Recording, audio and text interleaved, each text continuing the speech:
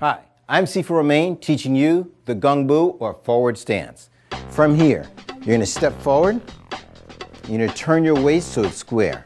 Your front foot slightly turned in, hands on the waist. You want to make a straight line from your shoulder to your rear heel so that you have energy going in both directions, forward and back. Now, in the forward stance, it's a great stance to use the rear hand and the rear leg to attack. Unlike the horse stance, where if you're in horse stance, this would be awkward to do.